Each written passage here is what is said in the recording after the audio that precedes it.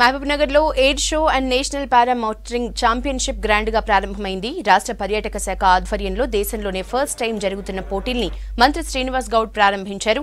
ఈ నెల పదిహేడు వరకు మొత్తం ఐదు రోజుల పాటు ఛాంపియన్షిప్ జరగనుంది. పోటీలో పాల్గొనేందుకు ఇప్పటికే మహబూబ్నగర్ చేరుకున్నారు జాతీయ అంతర్జాతీయ ఆటగాళ్ళు. Air show and national para motoring పోటీలు ఆకట్టుకోనున్నాయి.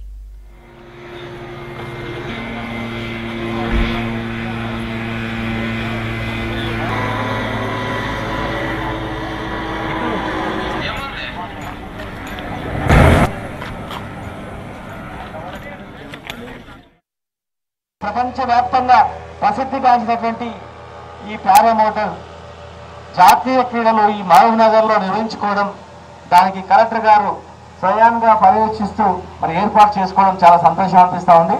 గత సంవత్సరం కూడా దాదాపు పదిహేను దేశాలకు సంబంధించినటువంటి వ్యక్తులను మహబూబ్నగర్ రప్పించి సంక్రాంతి పండుగ సందర్భంగా గాలిపటాలను కూడా ఇక్కడ ఎగిరేసి మరి ఒక గొప్పగా మహబూబ్నగర్ జాతిని రాష్ట్ర వ్యాప్తంగా తెలియజేసినట్టు మరి చేయడం జరిగింది. ఒక మంచి క్రీడలు చూడడానికి సంక్రాంతి పండుగ సందర్భంగా ఎవరైతే మీ బంధువులు చుట్టాలు ఎవరైతే వస్తారో అందరూ కూడా ఇక్కడ వచ్చి చూడాలి రోజు.